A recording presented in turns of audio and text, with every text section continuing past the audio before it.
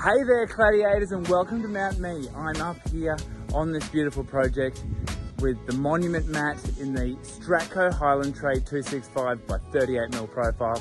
It looks amazing. We love using the Stratco profile and their product. Their service is fantastic and it helps us achieve the results that you see here today. This is a job that our, should I say our junior tradesman, Ed, has taken on with Deng, who is also a very junior tradesman. He's just completed his apprenticeship. So the two of them, along with Peyton, who is still an apprentice, they did this job. So these aren't tradesmen that have been in this for years and years and have 10 years plus experience. These are guys that have specialized in doing this work and they've done a fantastic job.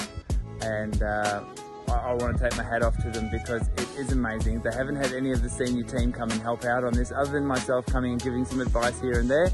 And they've been able to do a beautiful job it's nearly perfect.